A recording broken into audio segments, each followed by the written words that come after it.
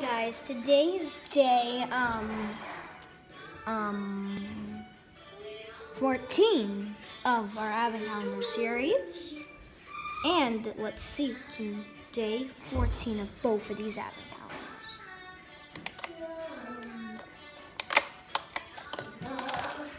Mm, kind of ripped, but that's okay. What is this? They, like always, they don't say anything in these. Give directions on the box, but I wonder what this is. Oh wait, no. I think this is maybe like a blanket for him. Okay. Now let's see what's on this one.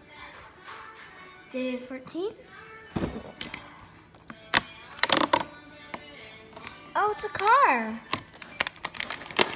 It's a good car.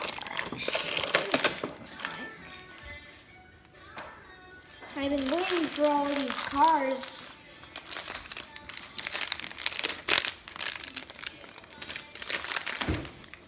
And today, just to say about our elf, just to talk about our elves a little bit. Today our elves um got us a train, and then we put it around the Christmas tree.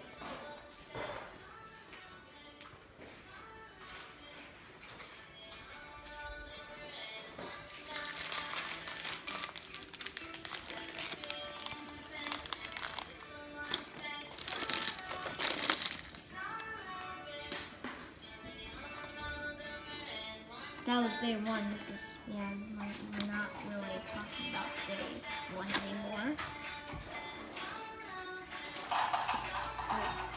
Okay, so we have wheels, and these wheels are very slippery. And I think we lost